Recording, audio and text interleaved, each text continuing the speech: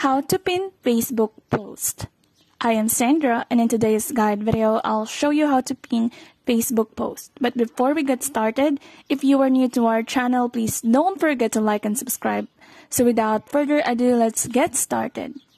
Step Step 1. Go to your profile, then choose a post that you want to pin. Step 2. Pin it. By clicking the three dots at the upper right corner of your post, you will see the pin post.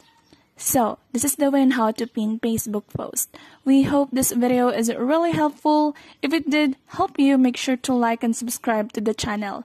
And if you've got any questions, make sure to leave it down to the comment sections. Thank you for watching!